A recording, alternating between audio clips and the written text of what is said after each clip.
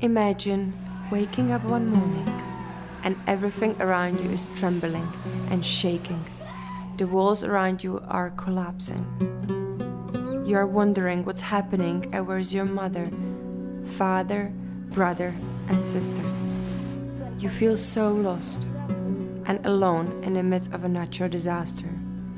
You don't know what will happen in the next moments, hours, and days. Imagine walking out of your home and seeing your community falling apart and people suffering. Imagine walking through your destroyed community day after day, weeks and months later. Six months later, first responders have left. Now imagine that after nine months you haven't seen much improvements in your community and your children have been forgotten. They don't have safe school to go to. Where is the support to help you and your family get through these difficult times? The gap between first response and recovery can last from 2 to 10 years, and during this time, philanthropic support is usually absent.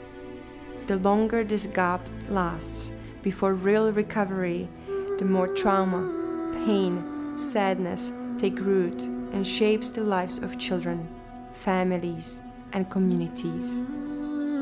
Happy Hearts Fund focuses its efforts during the gap between first response and recovery.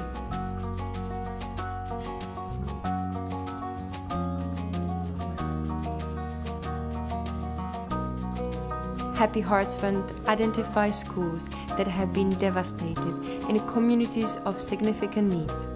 By rebuilding these schools, it provides islands of stability around which communities can begin to heal.